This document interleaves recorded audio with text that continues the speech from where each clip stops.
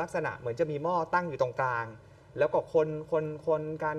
นั่งล้อมกันอยู่ประมาณสัก อ๋อสี่คนเนี่ยไม่แน่ใจเหมือนกันว่าเป็นอะไรนะ แต่หรืเขาอบว่าอกว่าน้ำมนต์มหาเสน่ห์ พิธีกรรมคาถามหาเสน่ห์โอ้โห ทำแล้วปังทำแล้วรวยทำแล้วเฮงฮะ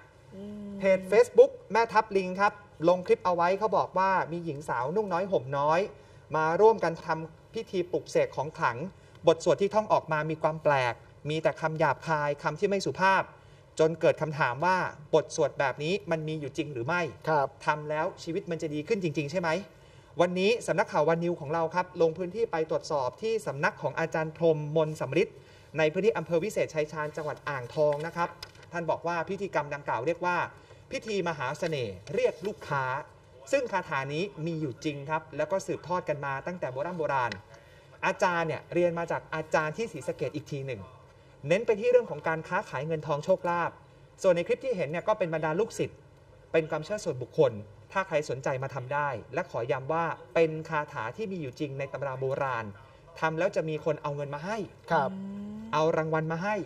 หลายคนที่ทำเนี่ยชีวิตปังมาก ๆ กลับไปทำงานก็ได้เงินกลับมาเป็นกอบเป็นกำครับ